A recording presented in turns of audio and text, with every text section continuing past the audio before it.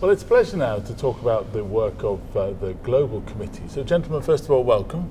Thank you. Thank you. Thank you very much indeed for taking the time to, to uh, talk to us this morning. So, let's kick off, uh, Claude. Tell us a little bit about the work and the importance of the Global Committee. Well, as you know, EBMT was born about 44 years ago.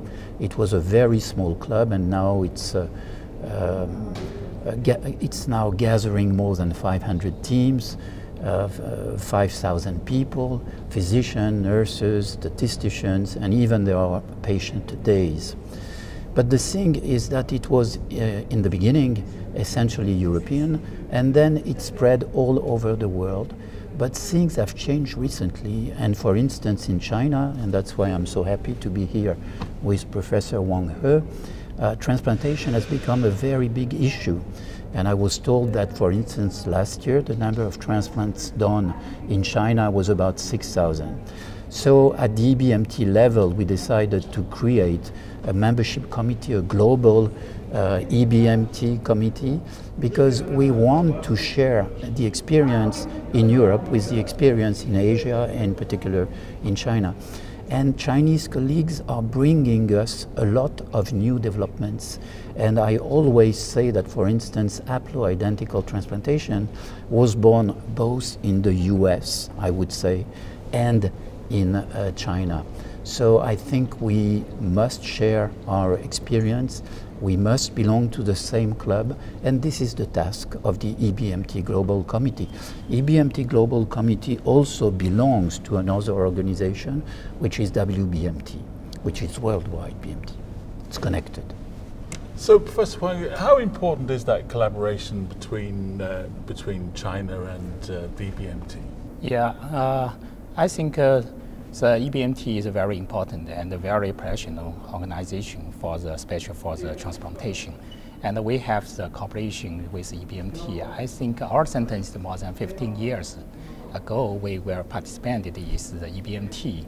I, uh, we have to learn so much from the EBMT. I think it's, uh, it's very precious and the cooperation and organization and uh, it's a very precious experience for us.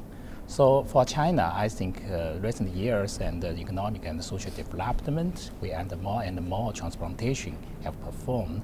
And uh, now we have the, about the 6,000 uh, every year the transplantation. The majority is the allogenic stem cell transplantation.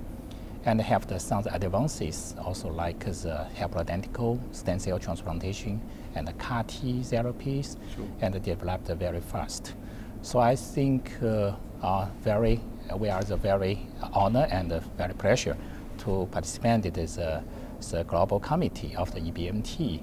I think it is very important for us enhance the cooperation in futures. Uh, just like uh, the Shell's experience and uh, Shell's organizations and Shell such the advanced technology. The important point you, you made there about the uh, future of uh, these developments, how do you see the, the future uh, of this uh, uh, collaboration working? The thing is that the political Europe is not working well, but scientific Europe is doing very well. And when we meet here, we are not meeting colleagues from other countries, we are meeting colleagues for, from other centers, which is totally different. So, as Professor Huang He mentioned, uh, after stem cell transplantation, we now are in the era of cell therapy. Right. And it's, it's exploding everywhere. And uh, each team working, for instance, with CAR T cells is bringing a different approach, a complementary approach, and, and we are going very fast because we share our experience.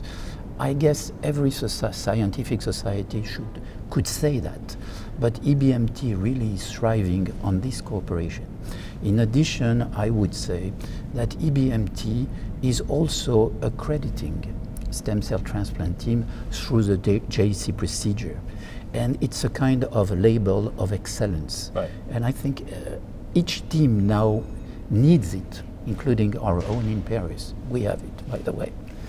So that I, I, think EBMT, if you do stem cell transplantation, if you envision doing or you are doing cell therapy using CAR T cells, for instance, you have to belong to EBMT. Well, gentlemen, thank you very much indeed for taking the time this morning to talk to us. We really appreciate it and good luck with everything. Thank you. Thank you. Thank you.